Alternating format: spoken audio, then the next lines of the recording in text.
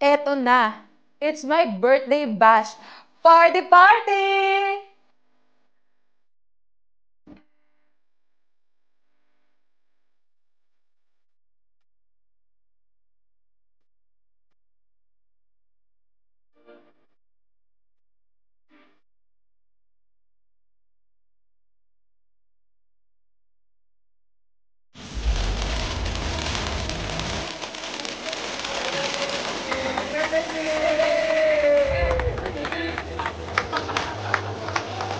Unang bar na pinuntahan namin, yun yung nasa taas ng hotel namin.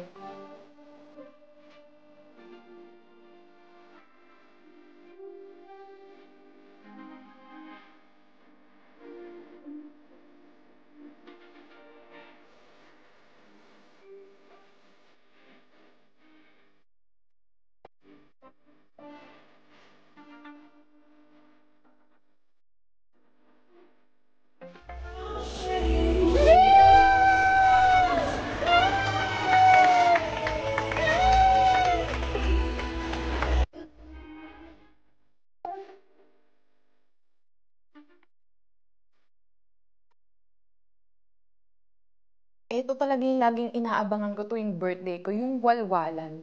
Kung sinong unang malalasing, kung sino ang unang gagawa ng eksena.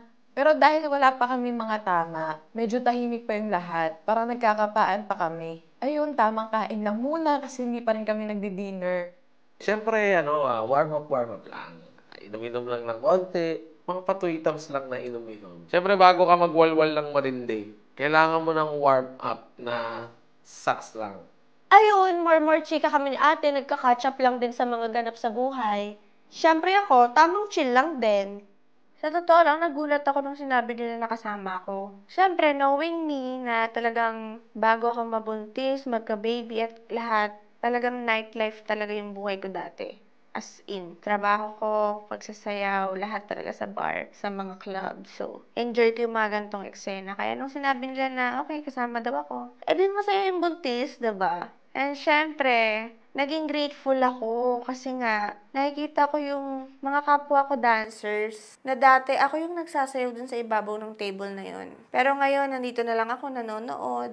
Mas naging grateful ako sa sitwasyon ko ngayon kahit na madami pa ring struggles. Eto na ang second bar. Dito na nangyayari ang lahat ng kababalaghan.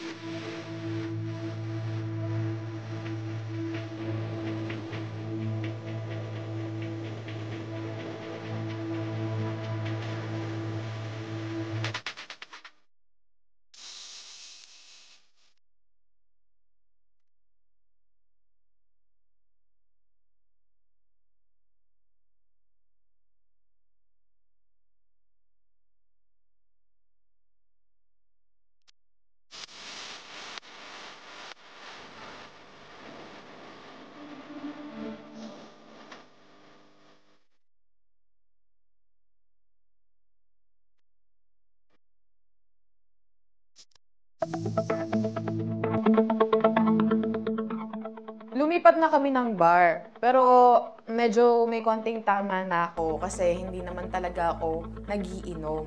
Siyempre, kahit papano, merong lungkot kasi wala si Tonyang ko. Pero naiintindihan ko naman. Pagdating pa lang namin doon, winelcome naman kami ng maayos na mga staff. Okay? Tinrato nila kami ng maayos. Tapos may camera sila na nakikita kami dun sa malaking screen. E di, syempre, bilang papansin akong tao, sasayaw tayo. Hanggang sa nagtuloy-tuloy na yung inuman, eto na, may mga nalalasing na. Siyempre, pag may walwalan, dapat may lasingan. Too late,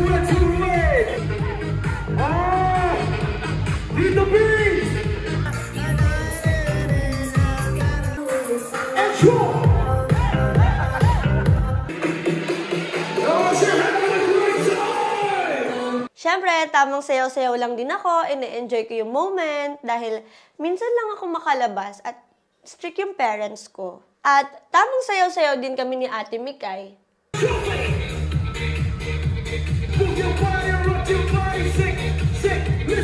Nandito na kasi ulit yung friend namin na si Finest China. And syempre, bago kami pumarty-party, eh dumaan muna kami kay Buntis. Hello! Kamusta? Kamusta biyahe? Hi, Mama! I miss you. Lovers mo naman. Siyempre na, magpapagod. I miss you. Oh Kaya nga eh, alam mo na. I Hello, hello. pala. Hi, Mami. Hello po. Ay, pares kayong bundes? Oh, pala. Oo, malaki po siya, di ba? Manganganak na siya. Ay, manganganak na siya. Ah, ako, 3 months na.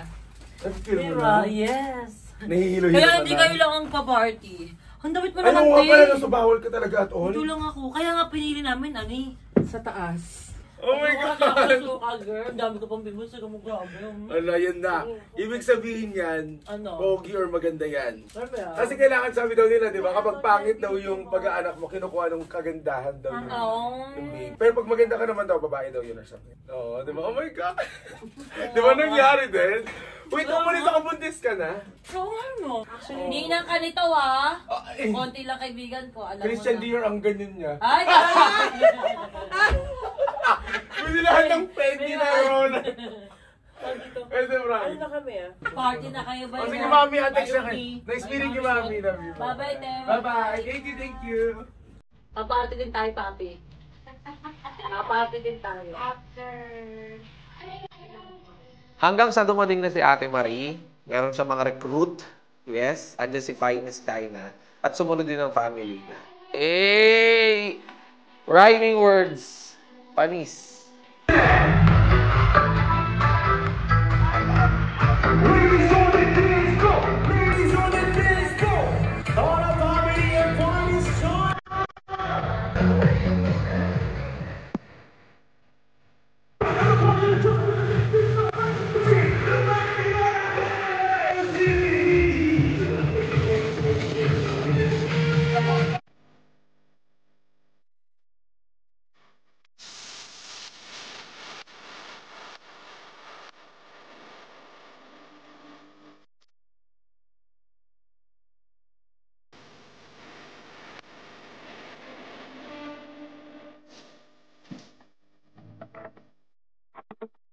Sa sobrang kalasingan ko, ayun, sumuka na ako.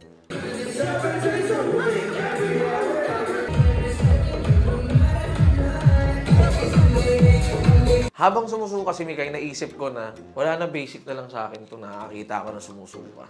Every day, yun ang routine namin ni Mami. Kaya hindi na bago sa akin to. Yun nga lang, magkaiba amoy na suka nila. Yung isa alak, yung isa sa pagbubuntis. Dahil sumuka na si Mikay sa kalasingan, tinabihan ko na lang siya para maaralala. The party must go on, kaya sinayawan ko na lang din yung girlfriend ko.